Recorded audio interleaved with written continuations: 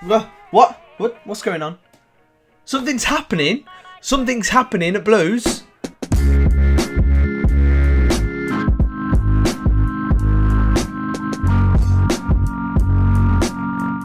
Yeah, welcome to the video. Um, today we're going to be talking about the new kit which was leaked uh, by We Are Birmingham, uh, the mock-up of it which looks absolutely incredible, and finally some transfer news, solid transfer news that looks quite promising as well. It does look quite promising. Before we get into this video, guys, I just want to say a big shout out to our sponsors over at OneFootball. Go and check them out. The best football app on the market.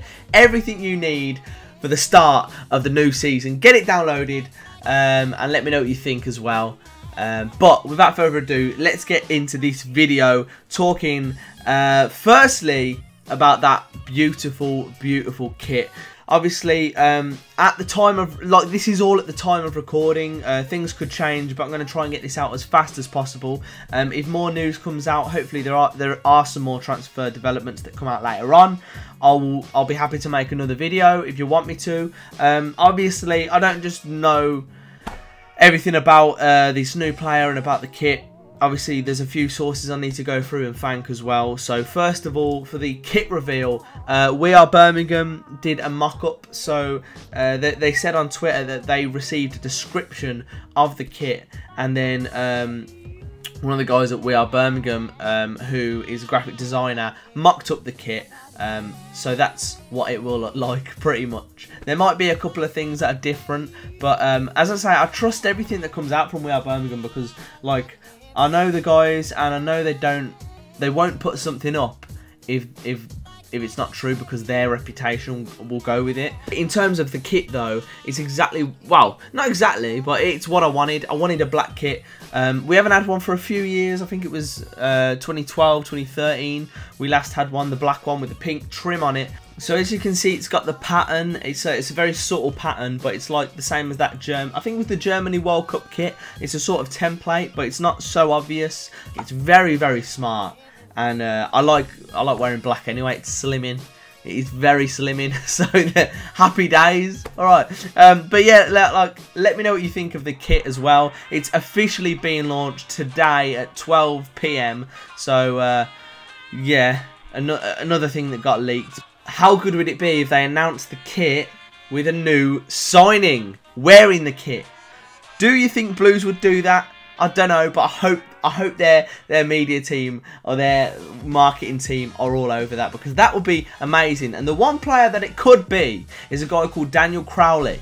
Now, I'm going to talk a bit about Daniel Crowley. Uh, things have literally just surfaced on Twitter. It is half nine on the 16th on Tuesday, so I'm going to just upload this tomorrow morning first thing. Um, yeah, a lot of things are resurfacing now, so I'm having a look. And from my first impressions, right, this guy looks the real deal. Like, he looks like the exact type of player we need to be going for. Again, We Are Birmingham announced this on Twitter. There were a few things going about on Twitter, but like, like I say, I don't really take much notice of it because there are a lot of names flying around. But when We Are Birmingham tweets them out, I'm like, okay, yeah, it's probably uh, it's probably got some legs. So, um, We Are Birmingham tweeted out saying, We understand that BCFC are currently in advanced talks with Willem for midfielder Dan Crowley. And now, personally, I've not heard of this lad. I've not heard of him. He's 21 years old. He's a central midfielder. Feeler? Feeler? central midfielder. Um, young, uh, mate. If it's a, if it's a permanent deal, this is exactly the type of transfer we need to be going for. Someone that's going to increase in value, and I just hope that's it. I hope it's not a loan deal because I, you know, as much as a loan deal was fine, I want us to be signing players. Um, so I've no one said on Twitter yet whether it's going to be a loan or a permanent deal. Maybe by the time this video's out, it'll be it'll be announced, um, but we'll have to see. Um, hopefully the, the, signing's announced tomorrow because I need I need a player. I need a I need some sort of player to sign for Blues that I could just throw in my career mode as soon as possible because I'm getting a bit a bit bored. I've had a look at some of his highlights. I know what you're gonna say, um, but I have looked for like deeper than this. I've looked into reports. Um, so, but but looking at some of his highlights, he seems to like be quite a tricky player who likes to float a risky ball into the box. He's not afraid to get the ball in the box, and we know how good Duke is to like get on the end of crosses. So if, if they can like figure each other out, get a little bit of a not a partnership, you know, the different positions, but if they can get some sort of chemistry together, that could work out pretty well. Um, but yeah, I'm gonna go. I'm gonna go into that a little bit more shortly. So a journalist called Ashwin Raman uh, wrote an article for Football Index, World Football Index, and it's basically talking about um, it, it's like a scout report, so it's got everything that you'd want to know about this player. I'm going to go through it and pick a few bits, but I will also drop the link to this article down in the top comment, in the pinned comment, um, just because it is a really, really good, informative article, and it's exactly what I like to see. It's got a load of stats in there, so it's rather than just looking at some YouTube highlights, you actually get an in-depth feel for the for the strengths and weaknesses of a player. So um, Let's go and have a look at it. So he starts off by saying he was in the Arsenal Academy and he was often compared to Jack Wilshere because both at Arsenal, same sort of stature, same sort of position. Um, and Jack Wilshere actually put a tweet out at one point saying, uh, everybody follow Daniel Crowley 24. Trust me when I say this kid is a player. Big future. That was in 2013. Uh, six years ago. But listen, the guy is 21 years old. That uh, I, that was an oversight, but I did not realise he was that young, and uh, to get a player that could probably slot into our first team, exactly what we need to be going for. Um, so, you know what? Uh, if we if we bring him in, I'm happy. I've done a lot of moaning about Blues at the minute, but you know what? If they want to play this attacking football, this new philosophy, it's good that we're going for the right kind of players for it. We do need more. We need a lot more, but this will be a really good start. Like in, in the preseason friendlies in central midfield, we've just not looked. We've not looked great. We need someone who can really, really, um, like a playmaker, someone that's someone that can just make things happen from midfield, link up midfield to attack. That's exactly what we need. And this guy looks like he could be the real deal. But hey, let's not get too excited. I'm getting ahead of. I'm definitely getting ahead of myself. So I'm to try and rein myself back in. All right. There's a lot of detailed statistics in this article and I'm not going to go through everything because it's a really well written piece and I want you to go and check it out for yourself. So do go and check it out using the link in the top comment. Um, but I will touch on a few. They, they, talk about how effective he is, how high usage he is in his team, um, they talk a lot about his passing and stuff. So this is this is gonna you're gonna get a lot more out of this article than you are than you would from looking at some YouTube highlights. So they say the first thing you notice about Crowley when he gets the ball is how he gets the ball. His first touch under pressure is excellent and he usually finds a decent solution to any pressure around him when getting the ball. Uh, and, and in here as well you're going to see a few gifs of um, some of his passes, the way he controls the ball, the way he can trick defenders into into committing uh, so that he can find a bit of space for himself. He seems like a very intelligent player, and at just 21 years old, there's a lot of room for growth there, I think. And if we can get this guy on a permanent, I I think he's, he's probably just the player we've been looking for. Yes, he he could flop. Yeah, he could flop, but it's, it's, it looks like quite a low risk. It looks like we're going to the right leagues to get these type of players, and I don't know how much we're going to sign him for. It's probably going to be undisclosed, but I think I don't think we're going to overspend for him. We can't really.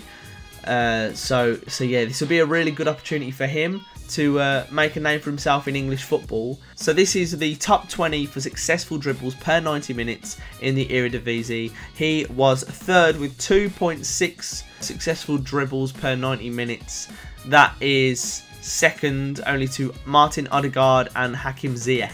That's again another another quality stat. To be fair, this looks like the type of player that could potentially um, replace Jota so looking at some of the drawbacks for this player as well, he seems a little bit weak on the ball, but we've had that issue with Jota before, uh, and you're probably going to expect that from his type of player that's playing a sort of advanced midfield role.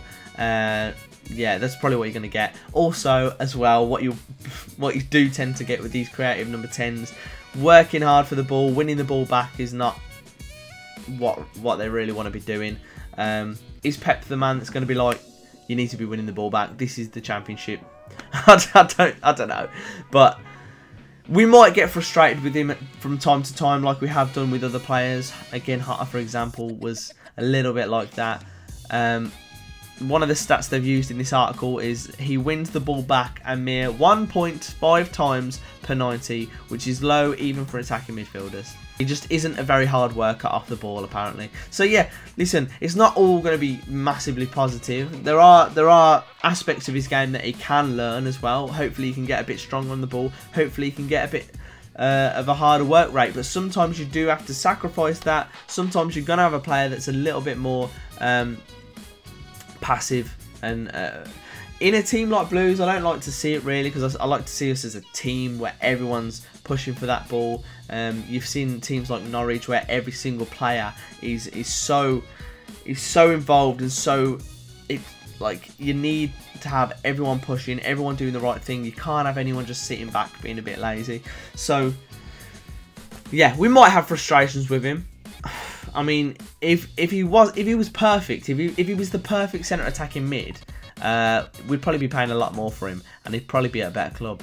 So that's what we're going to get. Those are the issues we're probably going to have to iron out of him. And again, these type of players that will grow in value, we iron these out and maybe we sell them in the future, but we make a profit. We are a sustainable club. That's where we want to be. We, we've got to sign more players like this. I'm hoping it gets over the line. I really am. One of the other drawbacks as well is that he's a bit one-footed, uh, so it could be a bit predictable. We've probably seen that with, with Hutter as well. Um, he's reminding me of Hutter a lot. But, you know what? Positives, negatives, whatever.